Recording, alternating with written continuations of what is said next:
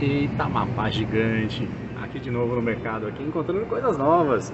Beleza, tô aqui encontrei esse café solúvel prático. Eu já tinha visto na internet receitas de como fazer em casa, mas assim pronto eu nunca tinha visto. E tem de tudo quanto é sabor. Temos aqui é, o rum, marula tradicional, saborzinho de menta, baunilha, chocolate, cappuccino, ovo maltine, gengibre e canela. E o precinho até que é interessante, até não é tão caro. O mais barato aqui sai por 22. 22, rende praticamente 10 xícaras, vai sair 2 reais cada xícara.